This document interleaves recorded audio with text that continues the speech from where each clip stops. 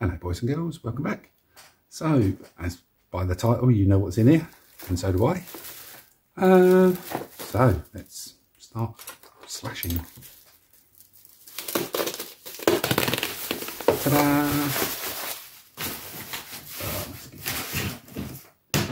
Okie dokie, so the tiger moth. Um, I didn't get the one, so basically this is exactly the same kit as came out four or five years ago. I think five. Let's have a look. Tooling 2019, yeah, five years. Uh, but they've relaunched it with two new colour schemes. There we go. So if you had the one that came out five years ago, it's just new colour schemes, but I didn't. Um, 148 scale, which is uh, not one I've done a lot in. I've done a few 132s but I seem to have a thing for biplanes at the moment. So when I saw it um, for pre-order a while back, I thought, well, that looks interesting. Never done one before, so let's have a shifty.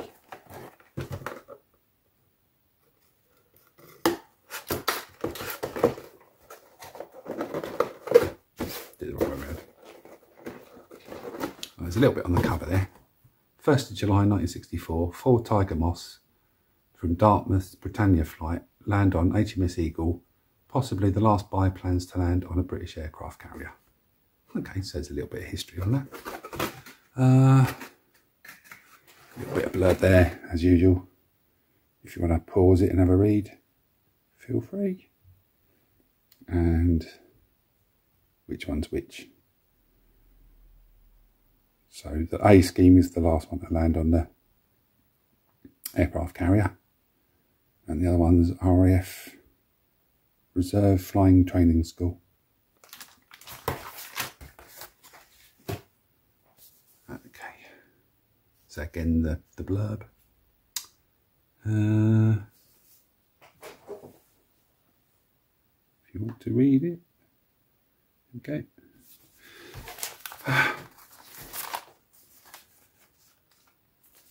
Ooh, some bright orange decals there. They're a bit, a bit leery and in your face. Well, I think I might, might have worked out which scheme I'm going for. I like a leery paint scheme. Nice.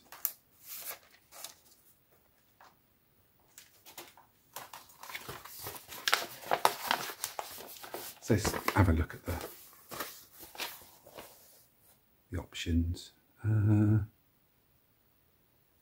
Okay, so this one, 1940, little research note. Uh, this one was believed to have been painted in the B pattern, though there were many variations and interpretations of this. It's also believed to have used shadow shading of light earth and light green on the lower wings. So if you haven't seen that before, that's where the lower wing is painted a lighter shade than the top to account for the fact that it's a shadow over it to makes it allegedly sort of blend in. Uh,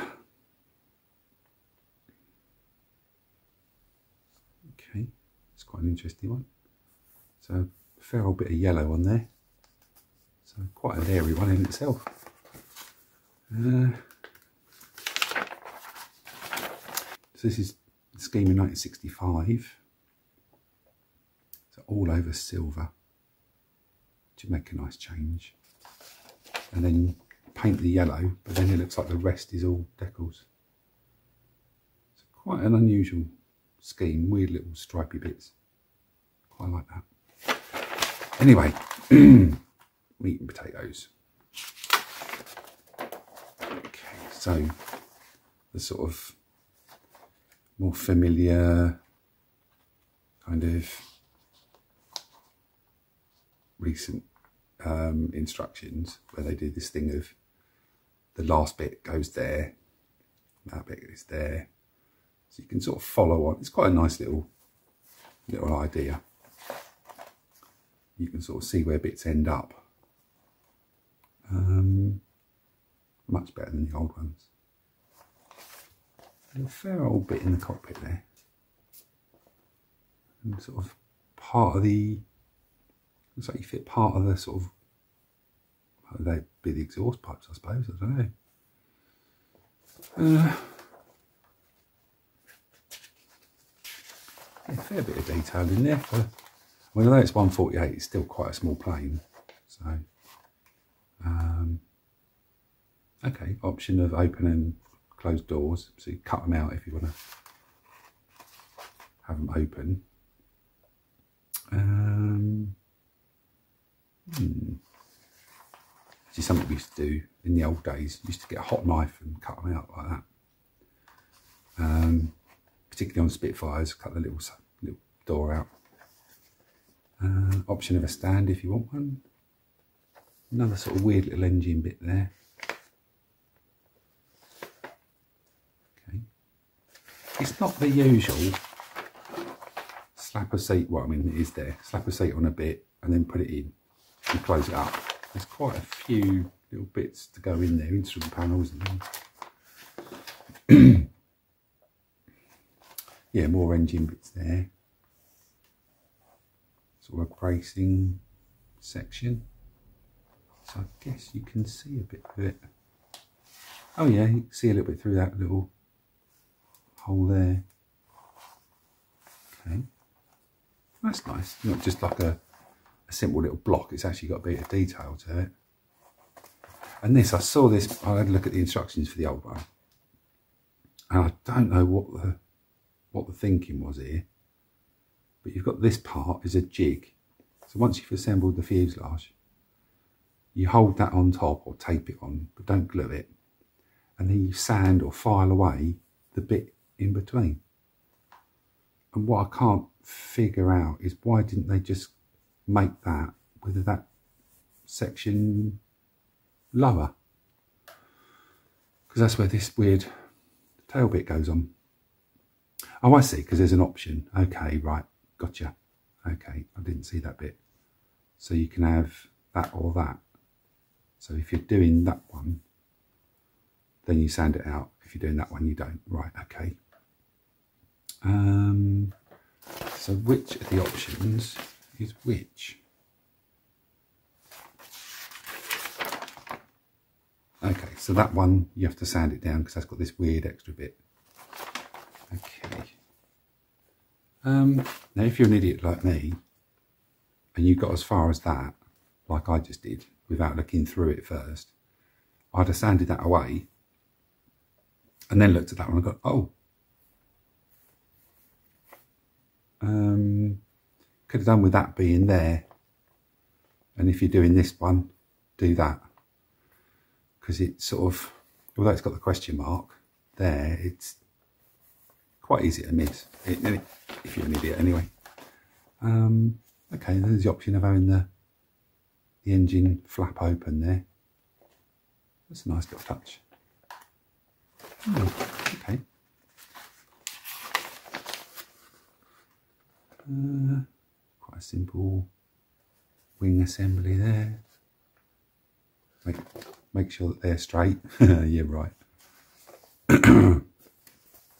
Not if my uh, bi biplane assembly skills are anything to go by.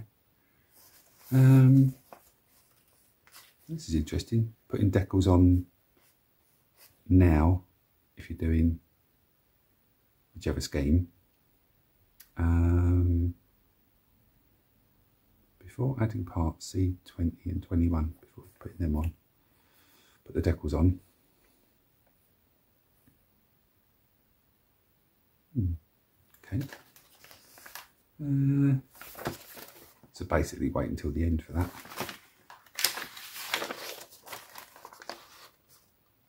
Wheels, choice of propellers. Um, that's sort of like a padding bit, I think. And then the screens.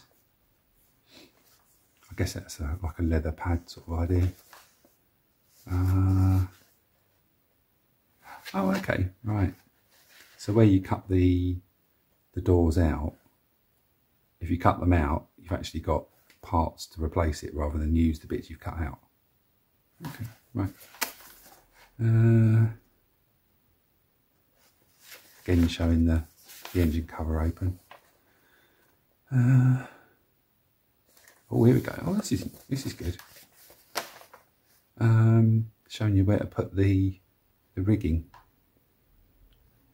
but actually in quite a fair bit of detail. There's a couple of bits there. Cross wires behind the back seat. Oh, that's really good. They've got some quite good angles of where it goes. Quite clear positioning.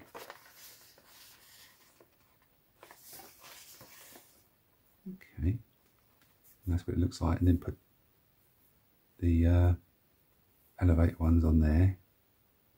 I mean, what that'll look like. That's really good. I sort of clocked it on the on the old instructions when I looked, but I didn't didn't think it was this detailed. That's really good. And even even close up of the actual mounting point up there. That's really good. Impressive.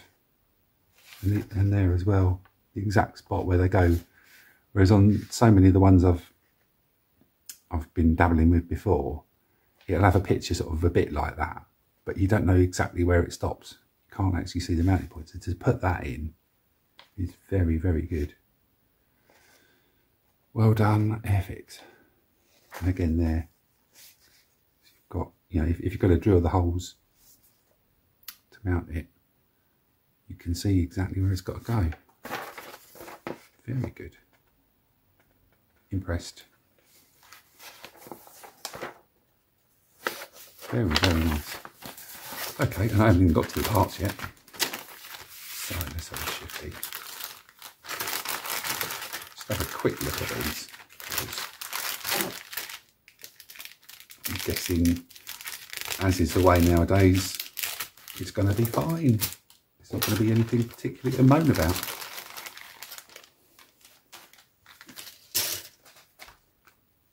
Yeah, I mean, there's a as an example of how small a tiger moth is.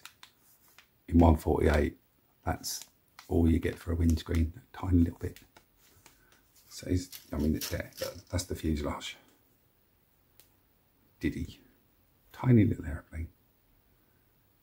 Okay, so part of the engine is already included, you know, as attached to the fuselage.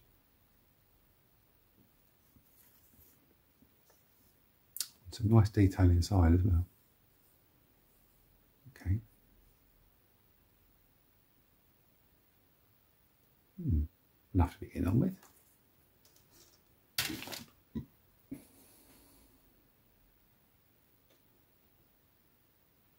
I mean, as you'd expect, there's no flash on it at all. It's um, in lovely nick. And the instrument panels See that? See how good they are? Catch it in the light. Really, I mean, even like the edges of the dials there with the screw fixings. It's really good.